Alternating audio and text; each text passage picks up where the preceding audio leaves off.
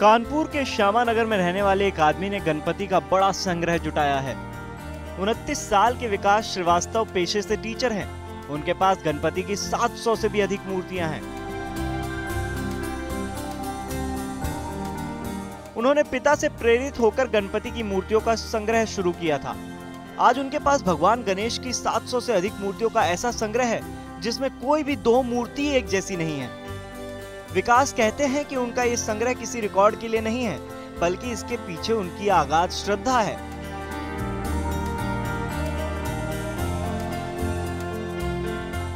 एक बार वो एक हादसे में बाल बाल बच गए थे, इसे वो विघ्नहर्ता का आशीर्वाद ही मानते हैं, और इसी घटना के बाद वो गणपति की मूर्तियाँ जुटाने लगे।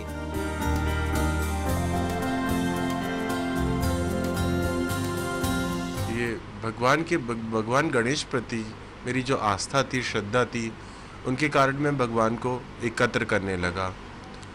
ऐसे धीरे धीरे करके मैंने 700 मूर्तियाँ इकट्ठा कर ली हैं, जो कि विभिन्न जगहों से मैं लाया हूँ। मेरे दोस्त यार दिल्ली, बॉम्बे, कलकत्ता, लखनऊ इलाहाबाद यहाँ तक कि मैंने कानपुर से भी बहुत सारी मूर्तियाँ ली हैं और दोस्त यार भी मुझे मूर्तियाँ भेजते हैं। एक मूर्ति तो एक विशेष तरह की है इसमें गणेश जी, रिद्धि सिद्धि जी के साथ बैठे हैं और वो पूरे यूपी में कहीं भी नहीं मिलेगी, सिर्फ़ मेरे पास है।